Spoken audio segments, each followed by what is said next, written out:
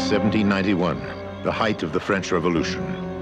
Three skeptics have set out to challenge a legend. The legend.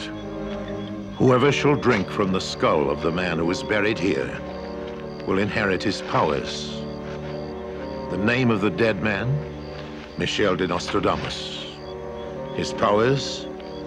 The ability to predict the events of the future. For 200 years, his grave has remained undisturbed because the legend also said that whoever disturbed his grave would die.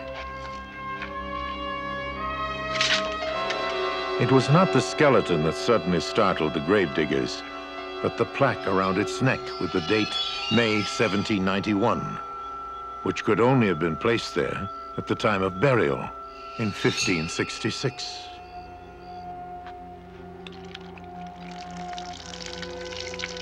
Nostradamus had predicted 200 years before the exact date when his body would be dug up.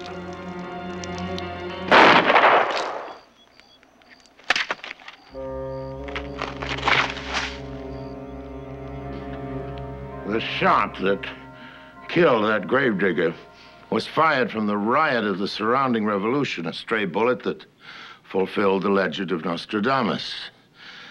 Was it a coincidence or prophecy? We're going to look at this man, this uh, Michel de Nostradamus. He was a respected French physician whose predictions of the future have mystified scholars for over 400 years. But before continuing, let me warn you now that the predictions of the future are not at all comforting. And I might also add that these predictions of the past, these warnings of the future, are not the opinions of the producers of this film. They're certainly not my opinions.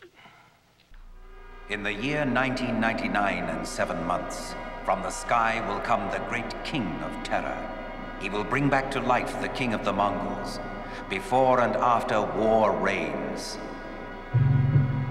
Out of the country of Greater Arabia shall be born a strong master of Mohammedan law. This king will enter Europe wearing a blue turban. He is one that shall cause the infernal gods of Hannibal to live again. He will be the terror of mankind. Never more horror. Warfare on a greater scale than ever before. Explosions. There will be a great onslaught.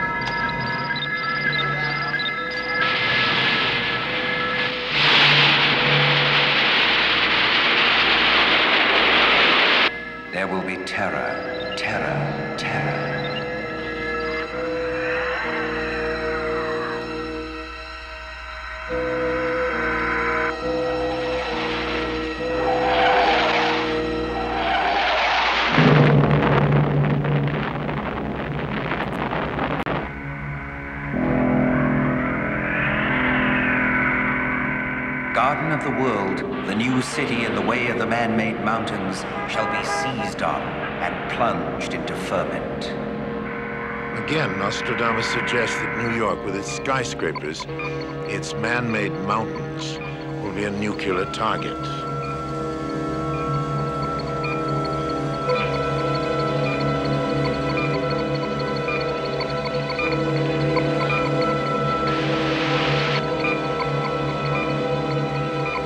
Nothing, the prophet says, will keep the city from dying.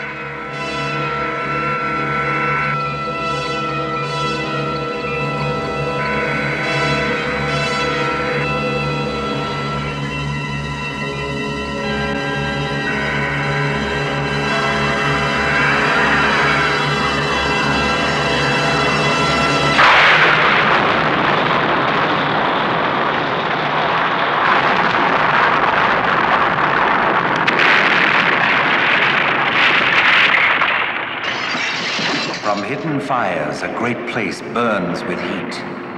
A hot wind. War.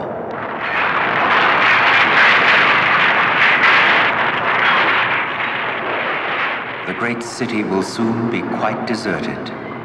Not a single one of the inhabitants will remain.